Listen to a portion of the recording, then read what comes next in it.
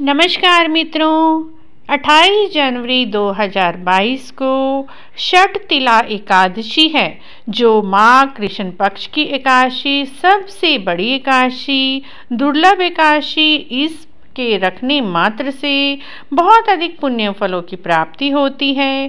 कहा जाता है, माघ मास की षट तिला एकादशी को रखने से एक हज़ार गंगा स्नान का फल मिलता है और इस दिन यदि तिल दान किए जाएँ तो तिल दान करने का तो इस दिन बहुत महत्व है।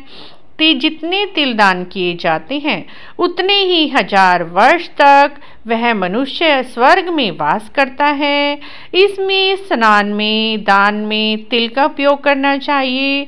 छह प्रकार से तिल का उपयोग किया जाता है। तिल डालकर स्नान करना चाहिए। तिल का उपटा लगाएँ, साबुन ना लगाएँ इस दिन। तिल का हवन करें, तिल से ही तर्पण करें, तिल का भोजन करें और तिल ही दान करें।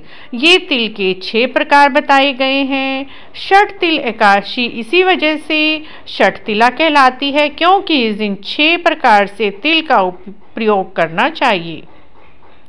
तो इसको व्रत करने से अनेक प्रकार के पाप नष्ट हो जाते हैं। पुलस ऋषि कहते हैं कि इस एकादशी की कथा मैं आपको बताता हूँ। यह कथा नारद जी को भगवान विष्णु जी ने कही थी। वही कथा मैं आपको बताता हूँ, जो कि सत्य घटना है ध्यान पूर्वक सुनिए। प्राचीन काल में मृत्युलोक में एक ब्राह्मणी रहती थी। वह सदैव व्रत किया करती थी। एक बार उसने एक मास तक व्रत किया, जिससे उसका शरीर अत्यंत दुर्लभ हो गया। परंतु उसने अन्न और धन का दान नहीं किया। तो ब्राह्मणी ने व्रत आदि से अपने शरीर को शुद्ध कर लिया और विष्णु लोक को पहुँच गई।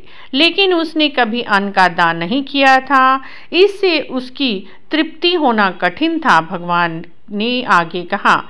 ऐसा सोचकर मैं एक भिकारी के वेश में मृत्युलोक में उस ब्राह्मणी के पास गया, उससे भिक्षा मांगी।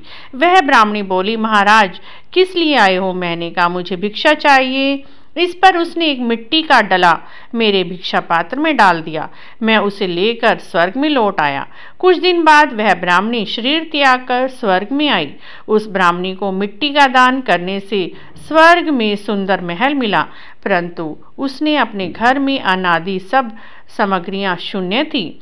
घबरा कर वह मेरे पास आई, कहने लगी, भगवान, मैंने अनेक व्रत किए, आपकी पूजा की, परंतु फिर भी मेरे घर में अन्न आदि कुछ भी वस्तुएँ नहीं हैं। इसका क्या कारण है? इस पर मैंने कहा, पहले तुम अपने घर जाओ देव स्त्रियाँ आएँगी, तुम्हें देखने के लिए पहले उनसे षट तिलेकाशी का पुण्य और विधि सुन लो, तब द्वार खोलना। मेरे ऐसे वचन सुनकर वह घर गई। देव स्त्रियाँ आई और द्वार खोलने को कहा तो ब्राह्मणी बोली, आप मुझे देखने आई हैं तो षट तिला एकाशी का महत्ता मुझसे कहो।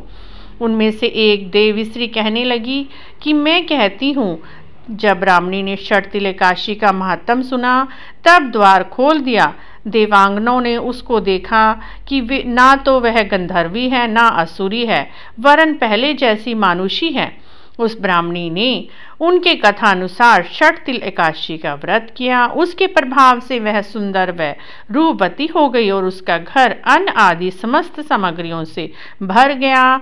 अतः मनुष्यों को मूर्खता त्याग कर षट तिला एकादशी का व्रत करना चाहिए, लोभ नहीं करना चाहिए, तिल का दान करना चाहिए। इससे दुर्भाग्य, दरिद्रता दूर होती है, कष्ट दूर होते हैं और मोक्ष की प्राप्ति होती है।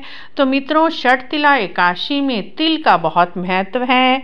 तिल को छह प्रकार से अवश्य ही प्रयोग में लाएँ। स्नान करें, दान करें।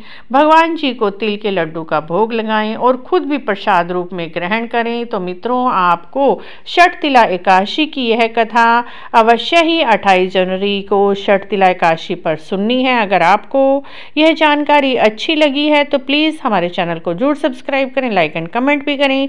कमेंट बॉक्स में जय श्री कृष्ण भगवान अवश्य लिखें।